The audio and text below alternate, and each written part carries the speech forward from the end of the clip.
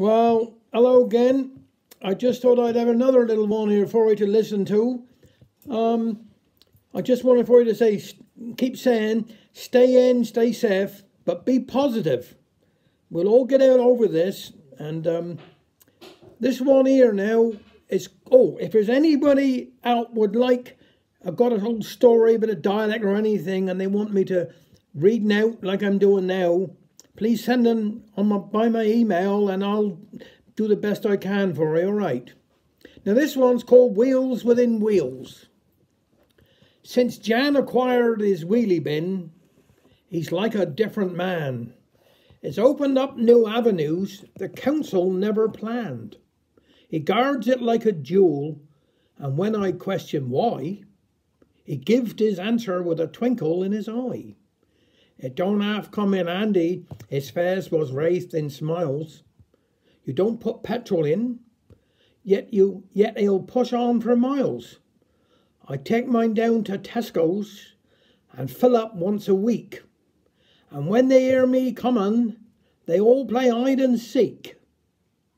As I trundle down the gangways, I put 'em all to flight. By the time I reach the checkout, there isn't a soul in sight. While others jam the car parks, we're settin' down to tay, 'cause we're home again in minutes, my wheelie bin and me. 'Tis truly multi-purpose, as Enra's wife can tell. Poor soul tumbled over and hollered when she fell. So I popped her in the wheelie bin and hammered up the lane. She was in and out a casualty before she felt the pain. And down to the roller rink, you know, they handle like a dream. The boys and me have started up our own formation team.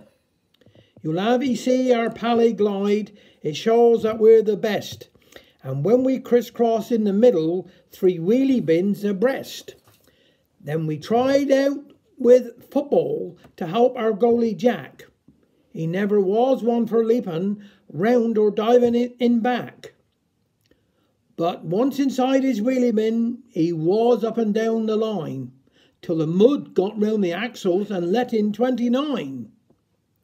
All well and good, I lectured this catalogue of sin.